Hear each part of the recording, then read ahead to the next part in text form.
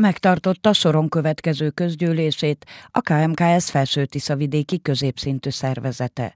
A jelenlévők néma főhajtással emlékeztek meg a háborúban elesettekről, Barta Józsefről, a KMKS néhai alelnökéről. Sari József elnöki beszámolójában az elmúlt év kihívásait, nehézségeit, valamint a jövőbeli terveket ismertette.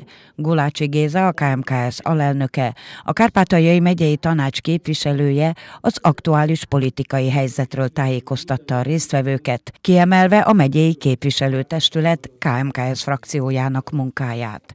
Sari József, a KMKS felső Tiszavidéki közé középszintű szervezetének elnöke felszólalásában hangsúlyozta, a nehézségek ellenére a kultúra, az oktatás, valamint a kisebbségi érdekvédelem mentén lehet megtartani a szorványban élő közösségeket. Beszámolomban említettem három fontos dolgot, az egyik az oktatás, a másik a múltunk és hagyományunk őrzés és feltárása, a harmadik viszont az érdekvédelmünk. Most ebből nagyon nehéz helyzetbe egy kicsit háttérbe szorultunk. Nem tudjuk azokat a rendezvényeket létrehozni és megoldani, meg, meg el, elrendezni, amit eddig tudtunk véghez vinni.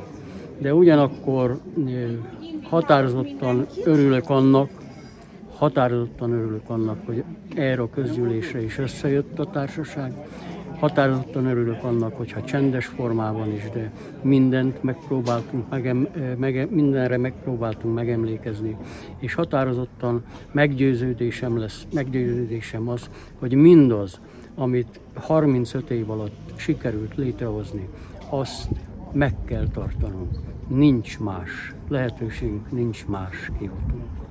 A közgyűlésen Kocsárha János, az Aknaszlatinai kistérség alpolgármestere felszólalásában a felső vidéken található magyar temetőkre és sírokra hívta fel a figyelmet.